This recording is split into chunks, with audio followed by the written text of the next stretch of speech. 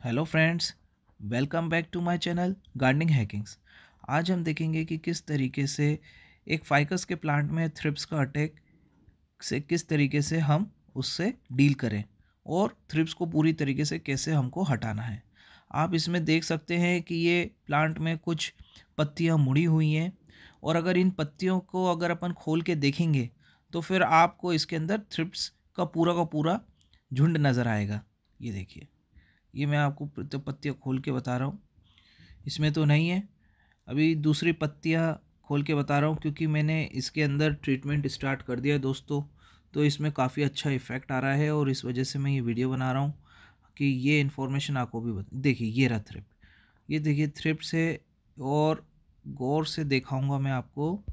दोस्तों, इस वीडियो में आप जान सकेंगे कि ये ख़तरनाक पेस्ट थ्रिप से आप अपने फाइकस प्लांट को किस तरीके से बचा सकते हैं। और अगर दोस्तों मेरे चैनल में अगर आप पहली बार आए हैं तो प्लीज़ सब्सक्राइब माय चैनल दोस्तों थ्रिप्स ऐसा इंसेक्ट है कि आपको आपकी गार्डनिंग लाइफ के अंदर इससे रूबरू होना ही पड़ेगा। ये एक बहुत ही ख़तरनाक पेस्ट है, जो आपके प्लांट की पत्तियों में, जो कि ज़्यादातर ग्रोइंग पत्तियाँ होती हैं, उसमें छुप जाता है। और ये एसेक्सुअली रिप्रोड्यूस कर लेता है अपने आप को। मतलब अगर आपको एक दो क्वांटिटी नज़र आती है तो तो रातों रात ये अपनी क्वांटिटी को बढ़ा लेता है। गौर से अगर आप देखेंगे तो ये मेरी पत्तियाँ मुरझा गई हैं। ये जब आपका पेस्ट काम करने लग जाएगा तो ये मुरझा जाएँगे, जो थ्रिप्स होते हैं, ये मुरझा जाएँगे, ख़त्म हो जाएँगे, और जैसे इसको फूक मारी मैंने तो देखिए ये हवा में उड़ गए। अगर ये ज़िंदा रहते तो ये पत्तियों से चिपके हुए रहते। दोस्तों, ये थ्रिप्स की साइकिल पूरी एक पत्ती में निकाल देता है। अब ये देखिए, मैं आपको जूम इन करके बताता हूँ, ये पत्ती के ऊपर कितना हैवी अटैक हुआ है, ये ब्राउन ब्राउन स्पॉट्स जो आपको नज़र आ रहे हैं, ये पत्तियों को चूस लिया है इन्होंने, ये थ्रिप्स अंदर इसके अंदर जमे हुए हैं।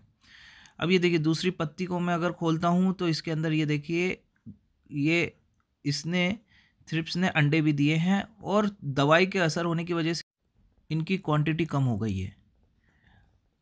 ये अभी मैं दूसरे में दिखाना चाहता हूँ कि जहाँ थ्रिप्स आपको क्लियरली दिखे। देखिए, ये दवाई का ट्रीटमेंट बहुत अच्छे से हो रहा है, जिसकी वजह से ये थ्रिप्स मर रहे हैं और ये मर के कोने में आ जाते हैं और पत्तियाँ आपको फैल, अपने आप को फिर खोलने लग जाती देखिए, इस तरीके से ये दोबारा से खोलने लग गई हैं। ये पतली, छोटी सी पत्ती है, जो नई पत्ती है, इसके ऊपर थ्रिप्स ने अटैक किया था और अब ये ख़त्म हो गया तो फिर ये पत्ती डी शेप हो गई है, मगर ये खुल गई है। ये देखिए, ये चूसने के इनके निशान है। ये पत्तों के ऊपर, पत्तों का रस चूसने वाले थ्रिप्स कहलाते हैं।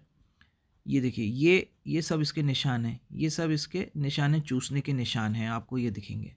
तो आइए देख लेते हैं किस तरीके से इनसे डील करते हैं। सबसे पहले तो आप अपने पौधे को अच्छी तरीके से पानी से धो लें। फ़र्स्ट स्टेप आपका ये है कि इसको बहुत अच्छी तरीके से पानी से वॉश कर लें कि ताकि जो एक्सेस थ्रिप्स हैं वो नीचे गिर जाए। ये देखिए, इस तरीके से आपने पूरी तरीके से पानी से पौधे को धोना है। अगर आपके पौधों में थ्रिप्स की जस्ट स्टार्टिंग ही हो रही है तो सबसे अच्छा ये है कि नीम ऑयल एक लीटर में टेन एमएल का नीम ऑयल लें और उससे नीम ऑयल से स्प्रे कर लें, जो कि ऑर्गेनिक भी है और प्लांट को ज़्यादा डैमेज भी नहीं करेगा। बट अगर थ्रिप्स बहुत ज़्यादा हो जाते हैं तो फिर उसको आपको ट्रीटमेंट देना पड़ेगा और प्रॉपर ट्रीटमेंट साइकिल चलाना पड़ेगी। ये देखिए, आपको दो पेस्टिसाइड यूज़ करना है, दो पेस्टिसाइड के कॉम्बिनेशन को यूज़ करना है। पहला तो है ये फिप्रोनिल। फिप्रोनिल एक केमिकल कंपाउंड है, जो मैं इसके अंदर यूज़ करूँगा।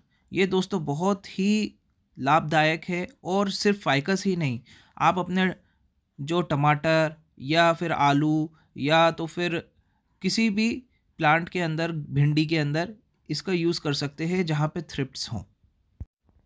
दूसरा है इमिडाक्लोरोपिड।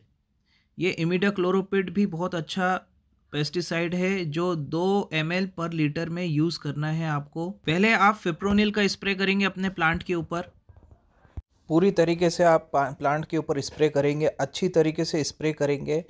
और उसके बाद चार पाँच दिन के बाद आपको imidacloprid two M per litre लेना है।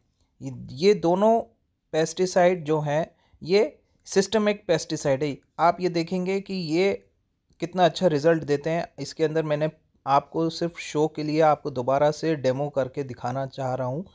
बट आपको इस तरीके से स्प्रे करना है और जो छोटी पत्तियाँ हैं, उसके ऊपर भी आपको पूरी तरीके से नहला देना है। इस तरीके से आप, जैसे ही इमिडाक्लोरोपिड आप यूज़ करेंगे, उसके 10 दिन के बाद आप ये दोनों दवाइयों को एक एक एम एल एक एक एम पर लीटर आप मिक्स करके दोबारा से स्प्रे करेंगे। पाँच पाँच दिन के ड्यूरेशन में आपको दोबारा से स्प्रे करना है। आपको रिज़ल्ट बहुत अच्छा मिलेगा। दोस्तों, अगर वीडियो अच्छी लगी हो तो लाइक करिएगा शेयर करिएगा और please subscribe my channel thanks for watching